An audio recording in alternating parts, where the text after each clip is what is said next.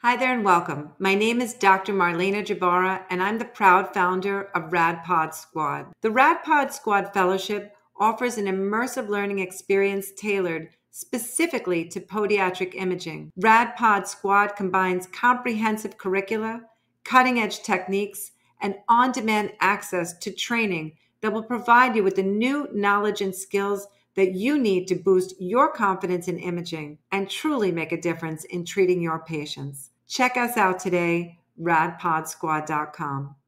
Moving on to pes planus, the etiology of symptomatic adult flatfoot is not universally agreed why this occurs. It may be produced by abnormal repetitive loading on the medial column, wearing down the medial structures. It can lead to a dysfunctional loss in ligament and tendon structure and definitely bone deformities.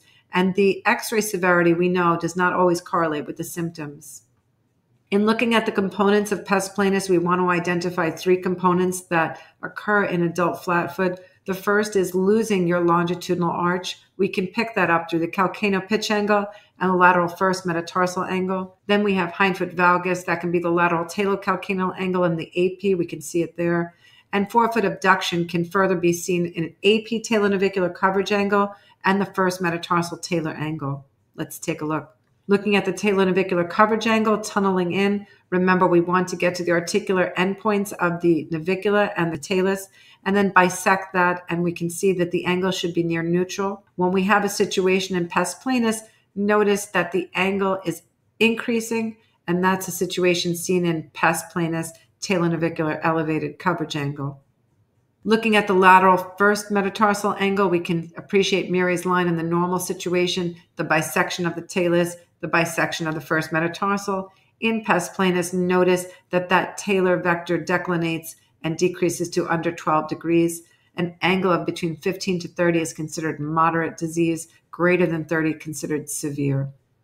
Looking at the calcaneo pitch angle in these patients, where we have the normal state of affairs at 20, anything less than 20 start to consider pes planus. And what we're doing is looking at the base of the fifth to the calcaneus, the calcaneus to the calcaneocuboid, and measuring that angle. And some authors use between 17 to 36 as normal. I tend to use 20 as a cutoff and try to use that as a framework to think about what might be going wrong for our patients along the medial column or the lateral column. Looking at the AP talar first metatarsal angle, we can appreciate the normal state taking the bisection of the talus and seeing where that lies along the first metatarsal angle. Clearly, here we can see this talar metatarsal angle doesn't meet, and we have this widening of the AP talar first metatarsal articulation. The lateral talocalcaneal angle, very useful in pes planus on the lateral projection because the calcaneus is moving away from us, and we can see the vector will increase in a situation of pes planus as the talus begins to declinate. We have our bisecting vector drawing our line from the calcaneus up to the cuboid, we see this angle widening in pes planus. Looking at Kite's angle or the AP talocalcaneal angle can help us appreciate whether or not we are at a state of pes planus and uncovering of the talar head. Also, looking at the talus here, we can bisect the talus. Then we want to go along the lateral calcaneal sidewall. The angle between these two regions is referred to as talocalcaneal angle on a frontal projection. And what we're looking here is a widening of that talocalcaneal angle in pes planus as the talus begins to move medially with respect to the navicula and widening this angle.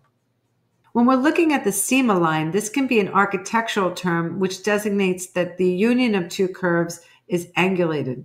So in the normal situation, the cyma line is seen to be a smooth, continuous curve, but in the broken cyma line, which we can see when we have abnormal biomechanics, and abnormal alignment can be angulated.